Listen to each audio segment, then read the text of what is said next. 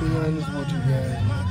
I just want to say, as 2023 comes to a close, I'm so hopeful for the future. I feel like my spiritual journey started a long time ago, but I'm living proof that if you stick to your intuition, stay in your spiritual journey, and trust it, you can make it. I've been through so many ups and downs in my life on my spiritual journey. Just staying with my spiritual curiosity and doing the right thing and exploring my spiritual curiosity led me to finding my passion, which led me to finding my career, which led me to finding my purpose. It's been a lot of ups and downs in this year, but the thing is, I followed my intuition and I never gave up.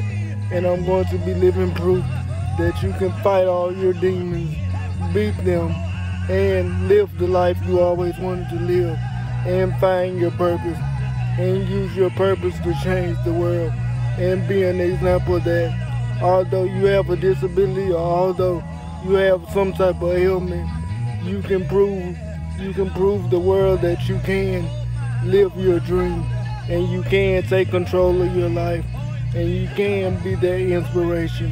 You can be that person that people look up to just by following your purpose and listening to God and doing what He tells you to do.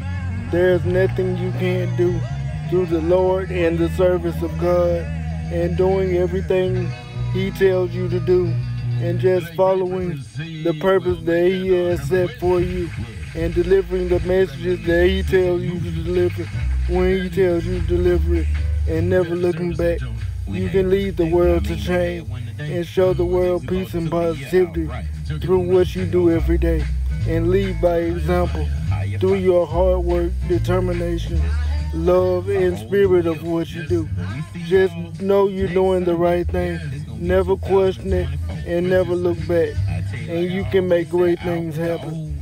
I don't know who needs to hear that, but I felt like there was a message on my heart that God told me to deliver.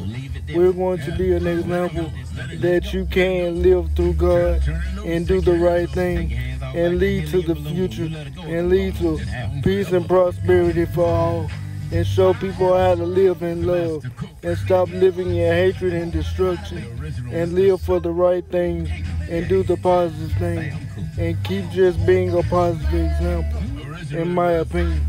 That's what my goal in life always has been and always will be. To be an example of positivity and leading the world in the right direction, in my opinion.